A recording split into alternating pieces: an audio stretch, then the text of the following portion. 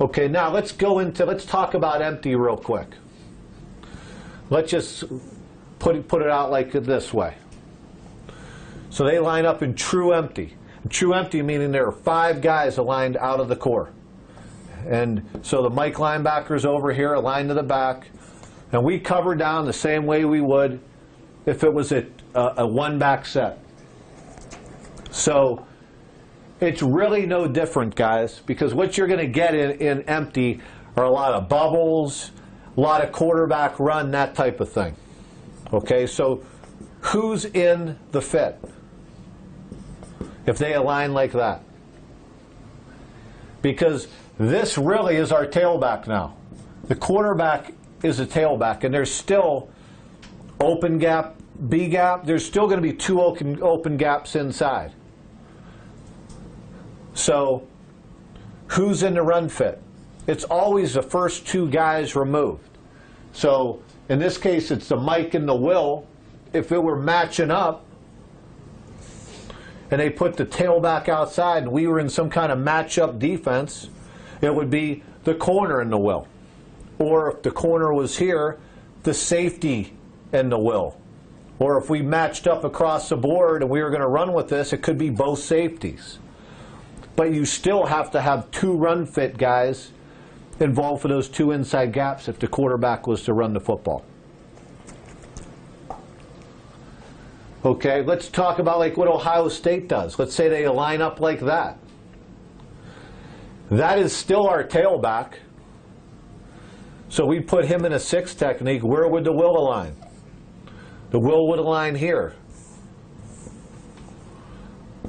So let's say they align like that. It's still, they still created an extra gap over here. So it's still the nickel or the safety, one of those two guys. The will linebacker would have an inside gap over here. The Mike linebacker would have an inside gap over here. Go back to true empty. We still have two guys in the fit. This Mike and the Will. And we get bubble on both sides or quick screen on both sides. So let's say on this side we got two we got a quick screen and on this side we got a bubble. We still have two guys to relate to these two guys over here, and we still have one, two, three guys to relate to these three guys over here. So how do I play that and relate to, even if we got a bubble on that side, how do I play the bubble and my run fit? Well, your run fit always overrules what's happening with the, with the screen. In essence, I have to key that quarterback through long enough. He's going to take me. I always have to hold if I'm part of the run fit, meaning if I get bubble, I cannot chase the bubble. I can't chase the bubble or the quick screen on this side. I have to clear the run first. So if I get a bubble out here and a bubble out here, I have to let that guy take me to my coverage. So if he stands up and he looks this way, I wait till that ball is thrown before I react to the bubble. Same on this side.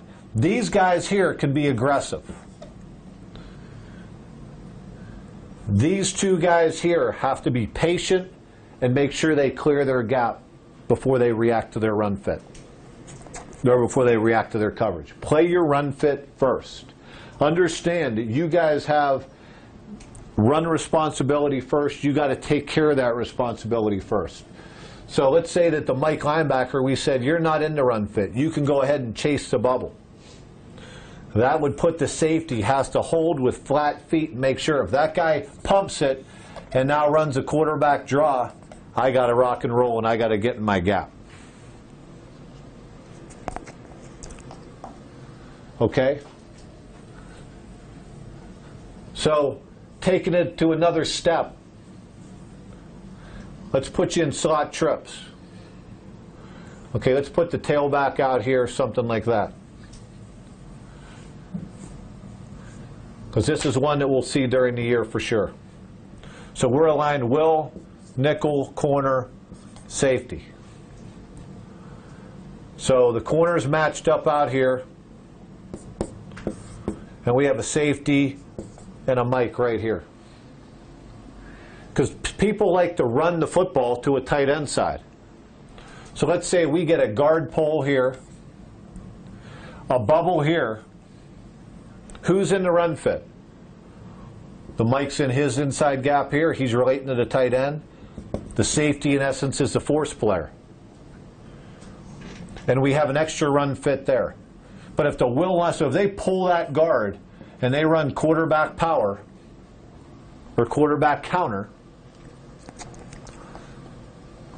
and this will linebacker chases a bubble, we're not going to have enough guys in the run fit.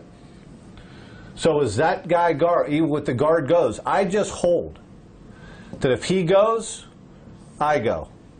So it'd be here, he comes around, I'm inside, I'm outside, I'm cut back. If this guard pulls and the quarterback stands up and throws a bubble, I hold, I rally late. But I have to clear my run fit first. We always have to handle our run gaps first. Let the quarterback take us to where he wants to take us because it'll happen very quickly. So it doesn't really mean matter, fellas, uh, regardless of how they line up, whether it's a one back set, a two back set, a Y off set, an empty set, we are always going to have guys that are responsible for run gaps, no matter how they align. And you have to understand by formation who's in it and who's out of it. And so you have to understand by coverage who's in it and who's out of it. And we'll get into that more specifically as we get into coverages. Have to find the lie